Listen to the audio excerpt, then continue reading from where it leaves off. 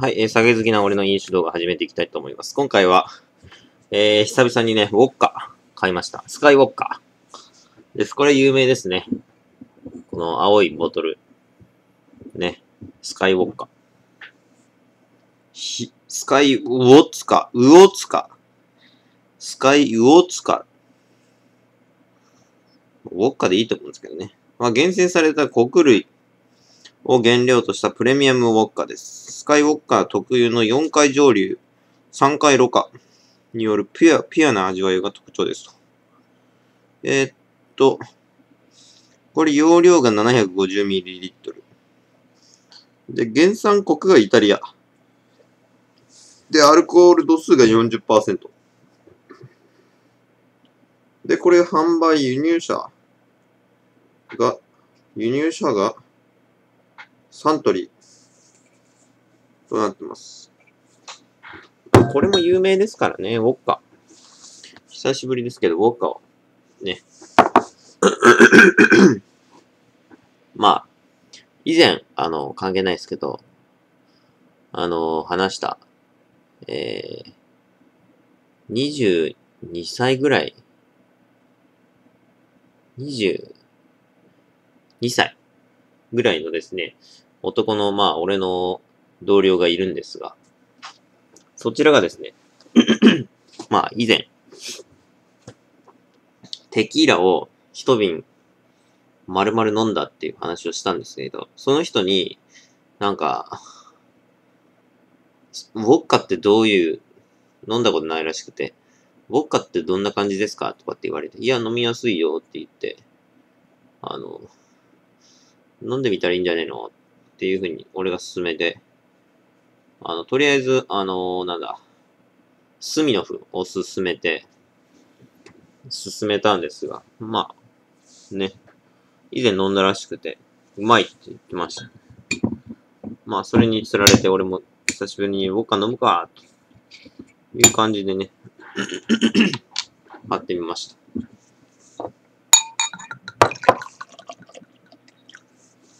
ストレートでいただきましょうか。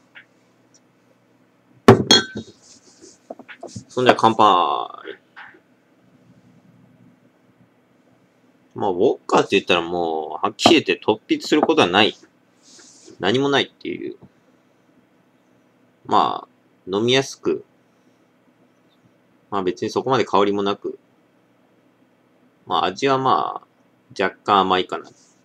若干っていうかまあ甘いね、癖が全くない酒ですけど。うん。うん。あの、個人的に言わせると、ウォッカって、あそこにあるんですが、あの、アブソルトウォッカ。まだこんだけ残ってるんですが、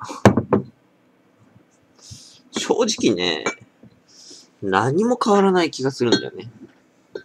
もう何も突筆することがなくて、で、何がどう違うのかなっていうのが分かりにくい。だから多分アブソルトウォッカと全く俺変わらないうん。味的に。なんか違うのかなって。うん。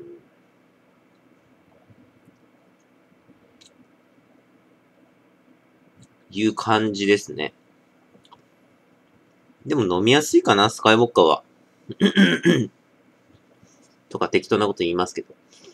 多分今までね、ウォッカまあいろいろ飲みましたけど、4種類。5種類ぐらい飲んだか。けど、まあ突筆するところがあるのはやっぱズブロッカ。がかなり有名ですけど、あれはかなり、ね、すごい、ウォッカだと思いますけど。うん。それ以外のウォッカあんまり違いがわからない。うん。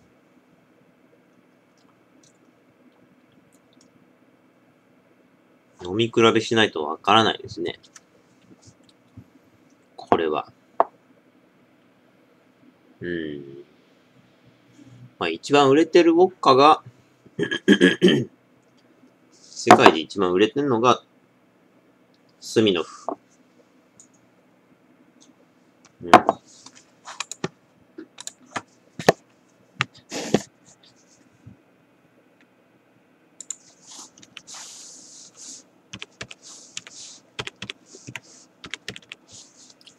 スカイウォッカ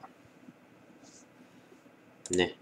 スミノフなんですが、まあね、ほとんどわかんないです。正直。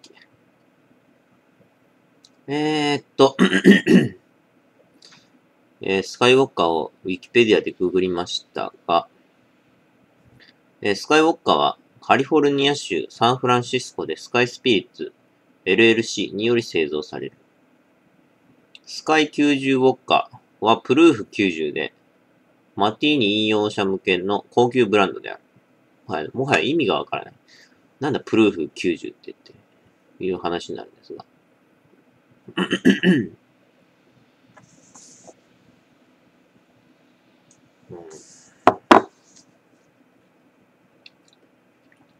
あとは、特に何も書いてねえな。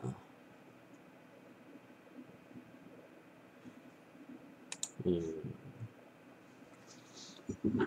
フランス、あ、これイタリアって書いてあるけど、え？原産国イタリアって書いてあるけど、は？あれ、アメリカじゃねえの？これ。カリフォルニア州って書いてあるな。ちょっとよくわからない。けど。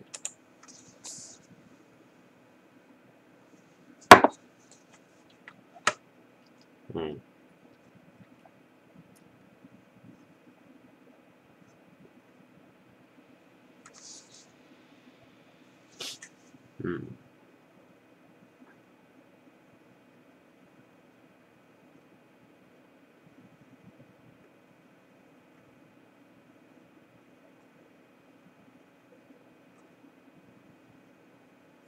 ああ、ストリチナやウォッカーがかなりベタらしいですね。これか。ストリチナやウォッカ？これがかなり、あの、一般的に、あれなんですかね、ウォッカではおすすめらしいですね。うん。まずはストリチナヤ。ロシアですね。えー、今度買ってみよう。うん。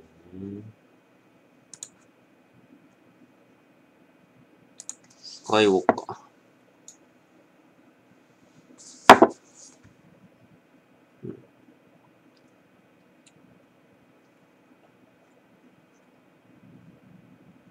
まあ、ウォッカって言ったらもう、別にそのままストレートに飲むっていうお酒でもないんで、普通に、あの、あ俺が好き好きなのはアップルジュースで、100%アップルジュースで割って飲むのが一番、まあ個人的にね、まああれはズブロッカーだとすごい美味しいんですけどね。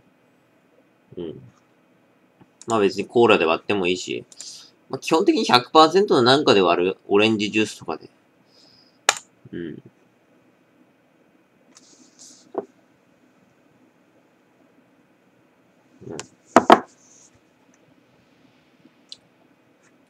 もう何でもいいです、これ。ぶっちゃけ俺もストレートで飲むのは、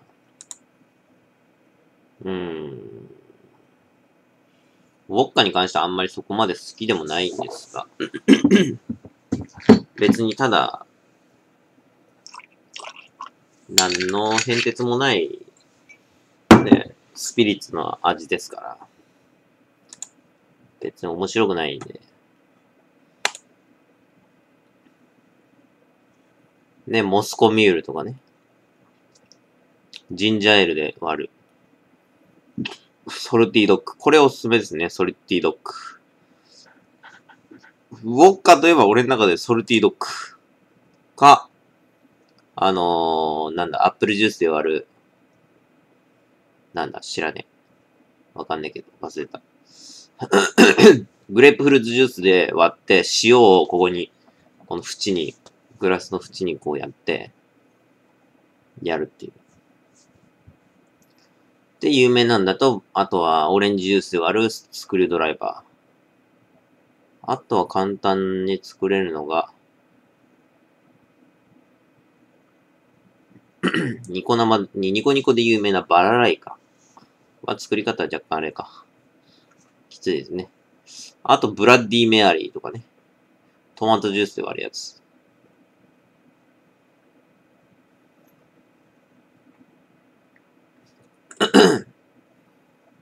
あとは、炭酸水で割ってライムを注ぐ。ライムを入れる。えー、ウォッカリッキー。えー、あ、そんなもんか。ね。ちょっとこれアブソルトウォッカと飲み比べてみましょう。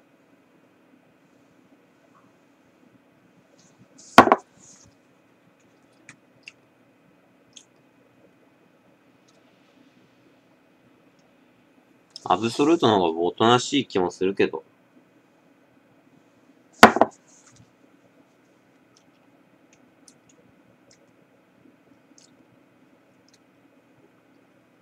ことんど気のせいレベルですね、これね。何が違うんかなこれな。ほとんどもう、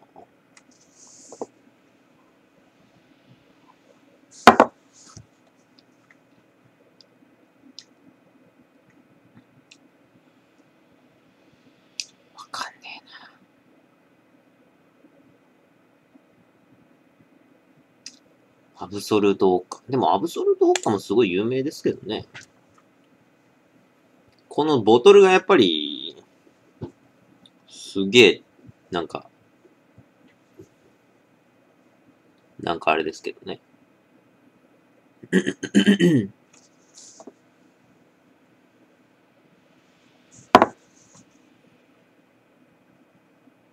うん。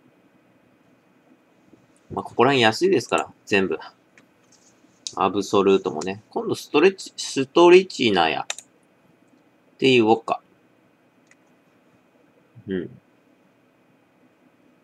ですね。やっぱり、こう、グラスを2個置いて、ね、飲み比べるのがやっぱ一番、あれだと思うんだけどね。あと、スミノフは有名ですけどね。うん。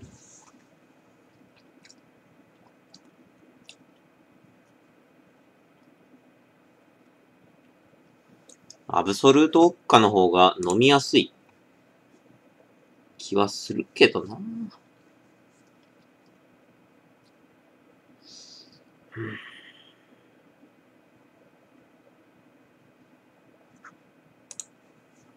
ギルビーウォッカ。ギルビージン。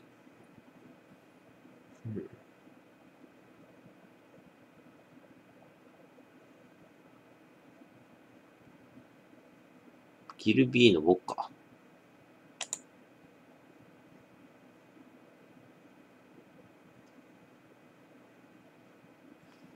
ギルビーのウォッカもちょっと飲んでみたいですけどね。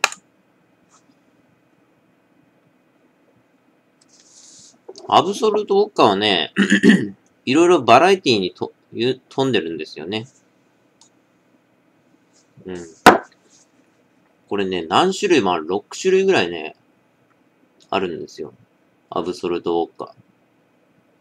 いろいろと。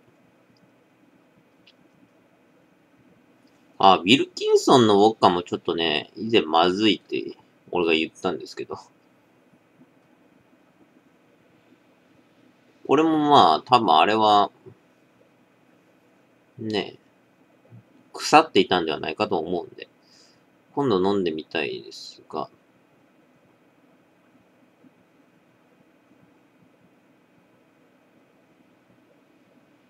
うん。ズブロックはやっぱ高い。500ml で500、あの、1000円ぐらいしますからね。ちょっと高いんで。うん。ちょっと買えないですね、あんまり。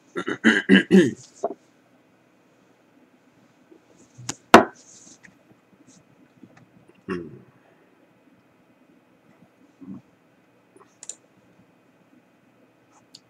うん。アブソルートウォッカー。アブソルートウォッカーもうほとんどね、俺の中だともう、もう何でもいいわって、いう話なんですよ。ウォッカに関しては。ほぼ外れねえからっていうか、突筆するところねえからって。もう、もうグラスっていうかこの、この瓶で選べた方がいい。とは思うよ、俺は。瓶で。スカイウォッカのこの紫色じゃねえや、青色のこのあれが綺麗だなと思ったらこれで買って、ね、みたいな。そう、それ系でいいと思うよ。俺は。ほとんどわかんねえから。マジで。そんなに、あの、いや、わかる人はわかると思うんだけどさ、正直俺わかんないもんね。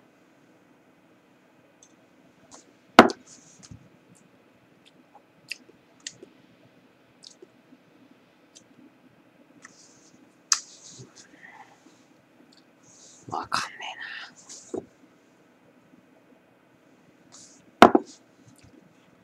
え、ちなみにアブソルトウォッカのウィキペディア。えーアブソルートはスウェーデンに本社を置く V&S 社から販売されているウォッカブランドの一つ。スピリッツの中ではバカルディやスミノフに、えー続く3番目に位置しており、世界的なブランドとして高い評価を得ている。あー、なるほどね。まあ、バカルディって言ったらラムですね。ラム酒の有名な会社ですけど。スミノフは、まあ、これは、ウォッカですかね。世界的に第3位かなっていうことなんですかね。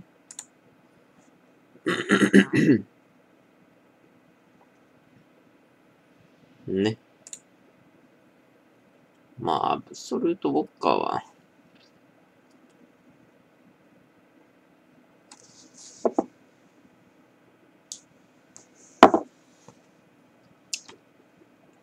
わかんね。だってこれもさ、良質な原料にこだわる究極のプレミアムウォッカとか書いてあるね。もう何でもかんでもプレ究極でプレミアムじゃねえかっていう話ですよ。本当に。スカイウォッカだってそれ。ね。もうとなれば、もう何でもいいと思うよ。俺は。ただ、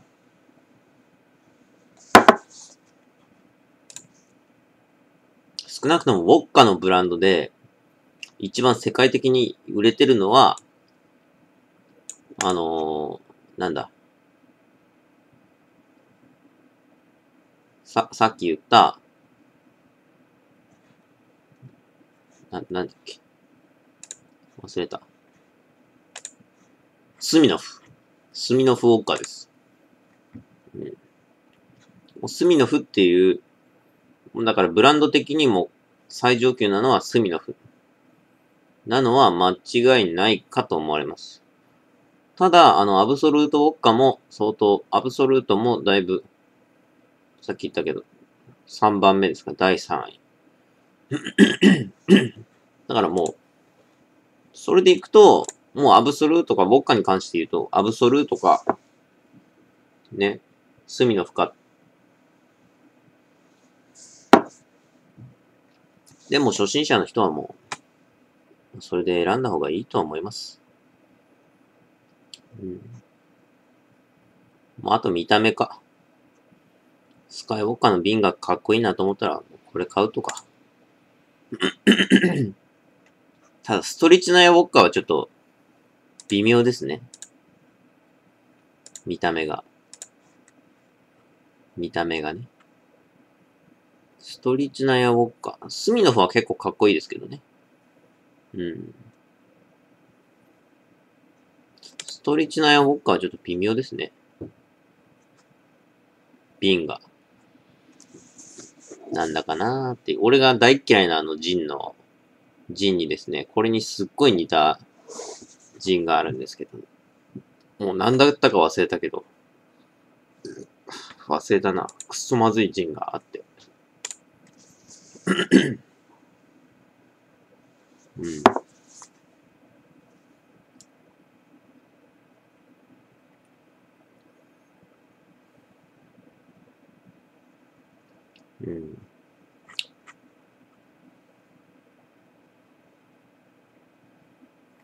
ロシアのトップブランド、キングオブスミノフ。ロシアのトップブランドですからね。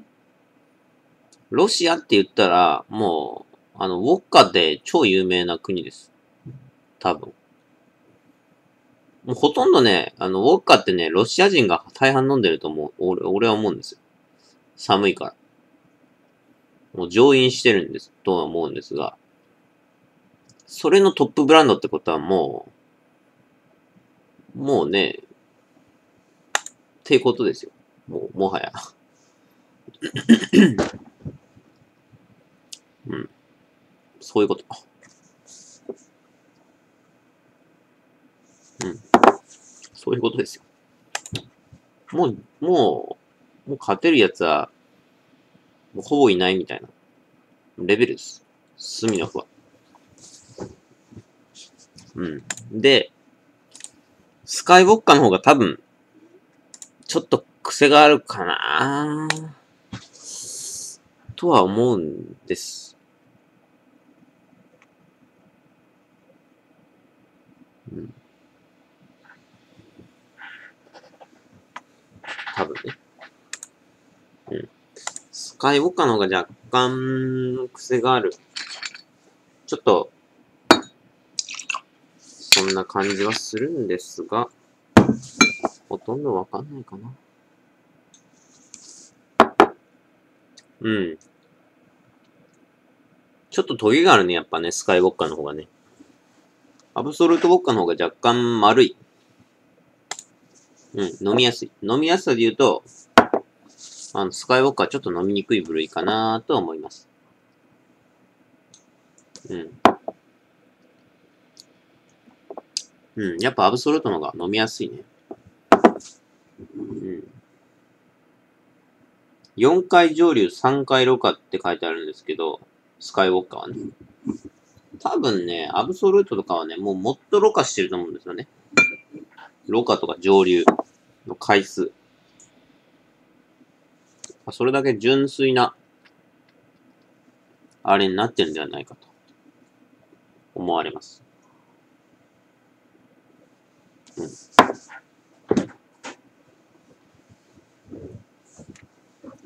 うん。うん。アブソルントの方が、美味しいかな？うん。スカイウォッカーは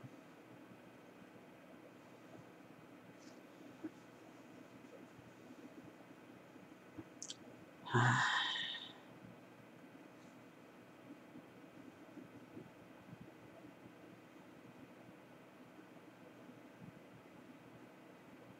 うん、コクとか、ウォッカにコクとか言われてもな困るよな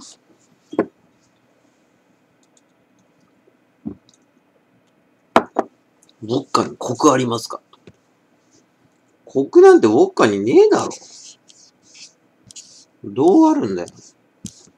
あったらどんな味になるんだよ、逆に。甘み。まあ、甘みはまあ、優れじゃねえ香り。まあまあ普通じゃね？って感じで。はい。今日が12月22日、コクが一つ星。まあ、ウォッカに関してコクはないでしょう。多分ね。多分よ、よくわかってないけど。甘み三つ星、香り三つ星。まあ普通です。スピリッツです。おすすめ度は三つ星。まあ、ウォッカの部類で言っても三つ星かな。アブソルトウォッカぐらいになると、四つ星ぐらいになってもいいけど、ちょっと若干荒いかなという感じはあります。うん。まあ、瓶はかっこいいんだけどね。うん。少なくとも瓶で飲んでるわけじゃねえからっていう話でいくと、まあ、こんな感じでしょうか。ね。これが妥当だと思います。それではご視聴ありがとうございました。